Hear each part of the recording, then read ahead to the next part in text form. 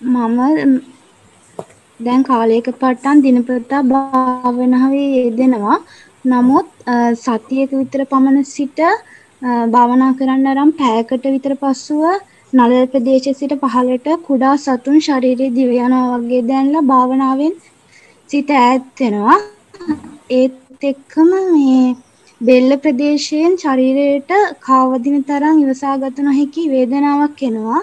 ඒක මගේ දැස් හිතන්නේ නැතුවම විවෘත වෙනවා. මේ ඇත්තෙම භාවනාවට බාධාවක් ස්වාමීන් වහන්සේ. නෑ නෑ නෑ. පොඩි පැහැදිලි කිරීම. මට තේරෙනවා මට තේරෙනවා.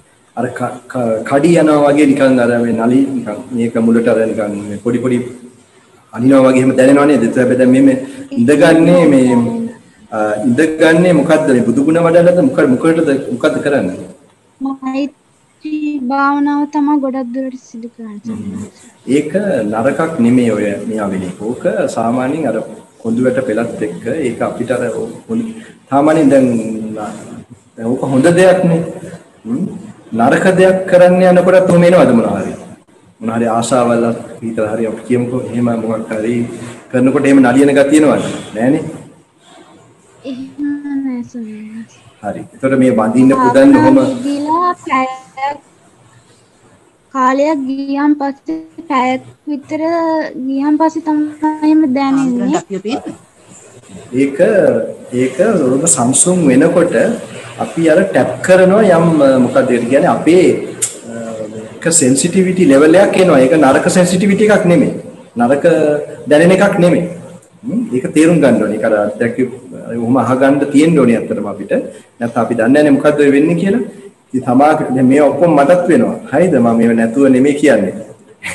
එතකොට ඒක සමාට අර දැන් ඇත්තටම මේ අර ඒක මෛත්‍රී භාවනාව ඔහොම කරගෙන හරි කමක් නැහැ. ඒක එහෙම තියෙනකොට තේරෙයි තව ටිකක් අර බුදු ගුණත් හරි අර එහෙම මෛත්‍රී හරි එහෙම මෙයා කරනකොට ඒක ටිකක් කල් යනකොට තව සීලයක් Tamanට කැඩෙන්නේ නැතුව එහෙම ජීවිතේ ගේන්න පුළුවන් වෙනකොට ඒක අර දැනි මේ තව ඒක වැඩි වෙයි. ඒක සමාධියට උදව් වෙනවා අනාගතයේදී. තව සමාධිගත වෙන්න ඒක උදව් වෙනවා සීල් රකින්නත් ඒවා උදව් වෙනවා. ඉතින් මේ ඒක අර අපිට එන බාධාවක් කියලා ගන්න අවශ්‍ය වෙන්නේ නැහැ. විතර බරගතිය කියවනේ බෙල්ලේ මොකද්ද මට ඒක හරියට එහෙමයි ස්වාමීන් වහන්සේ බෙල්ල ප්‍රදේශයෙන් ඇතුළට වේදනාවක් දැනෙනවා. ආ හරි මොකද යා ස්නායුවේ එතන හිර වෙන ගතිය නැහින්ද.